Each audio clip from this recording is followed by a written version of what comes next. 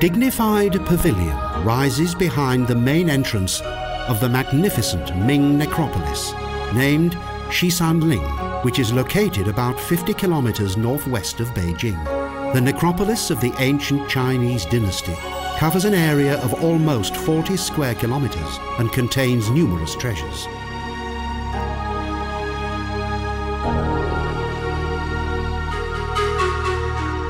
A large marble pillar gives this pavilion its name. The pillar rests on top of a turtle, a Chinese symbol for the universe and immortality.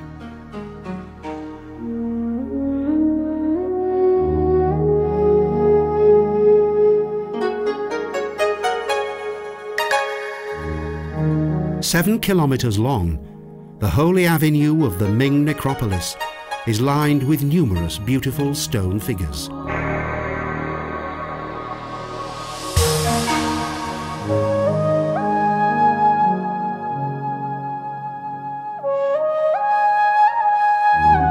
At the beginning of the 20th century, the avenue of stone statues, known also as the Way of the Souls, was in disrepair, but today it is the main feature of this historic site.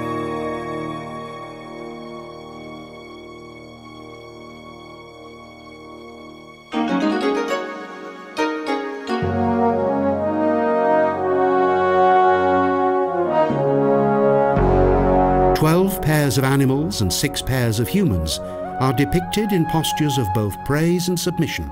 Each one of them was made out of one massive rock.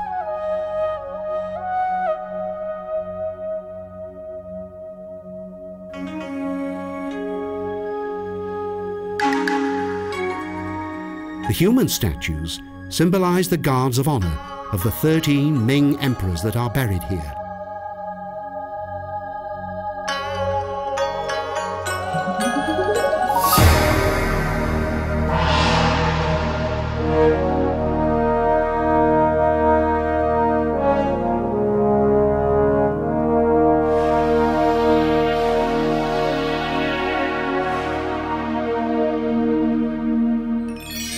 These statues were designed to protect the necropolis from evil spirits. Even at the rear, the soldiers' suits of armor were made with great care and attention to detail.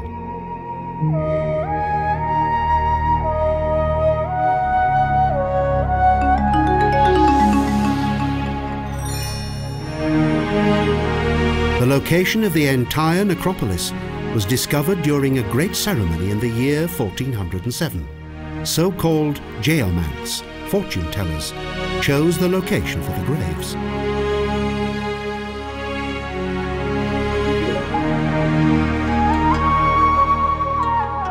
The careful selection of this beautiful setting for the necropolis was meant to guarantee the presence of positive spiritual forces.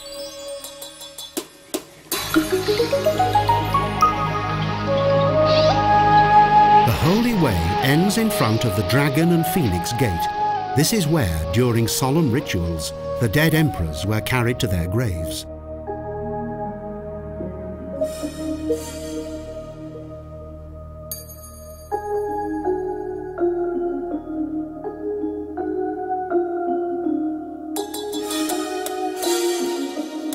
Dingling, the mausoleum of the 13th Ming Emperor Wan Li, is one of three restored grave sites. Elegant stairs decorated with beautiful stone masonry lead up to the terrestrial section of the mausoleum.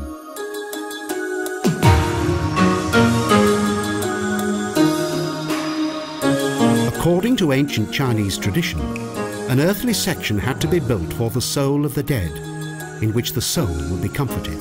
For this reason, these magnificent buildings and great halls were designed in the style of the Emperor's palace.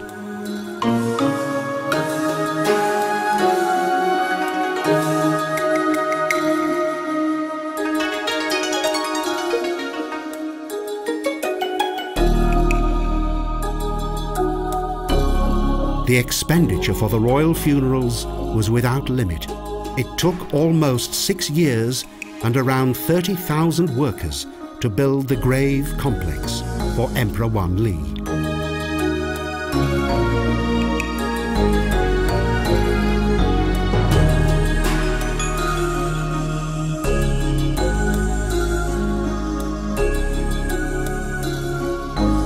It was only by accident in the 1950s that archaeologists discovered an inscription which led toward the entrance of the underground section of the mausoleum. Shortly afterwards, the burial vault of Ding Ling was opened. 27 metres beneath the ground lies the real grave of Wan Li.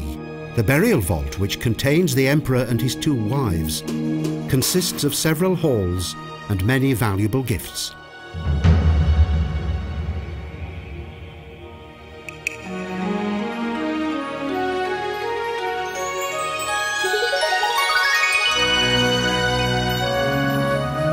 The construction of this burial chamber cost twice as much as one year's ground tax income for the entire country.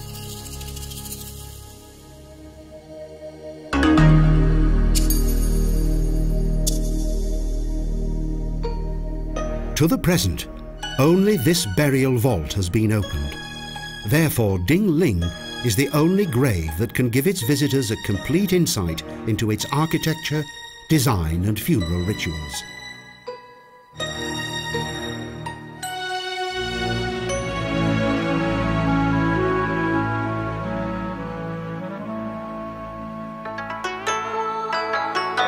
Chang Ling is the largest mausoleum of the necropolis.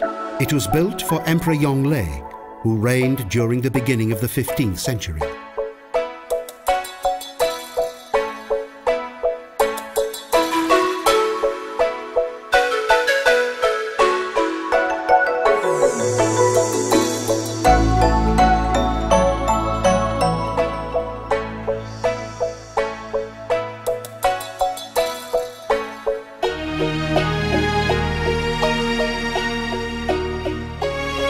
This extremely well restored gravesite has a darker side to it. It is believed that 16 living concubines were buried here together with the emperor.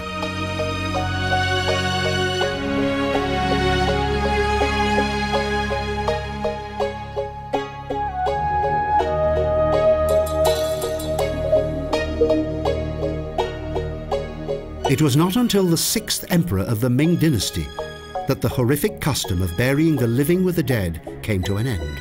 The splendid architecture for the dead rulers remained in place.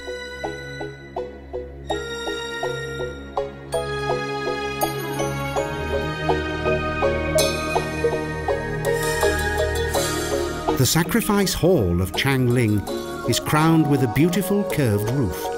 This hall features an extensive collection of discoveries from the Wan Li gravesite.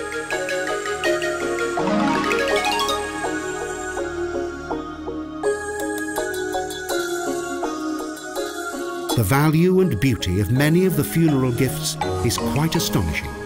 Apart from four crowns that are each decorated with 5,000 jewels, there are also several world-famous Ming vases.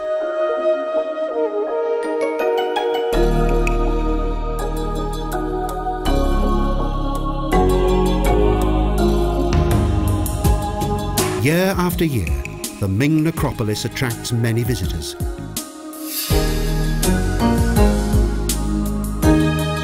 The idyllic surrounding landscape merges harmoniously with the magnificent buildings of this ancient Chinese dynasty.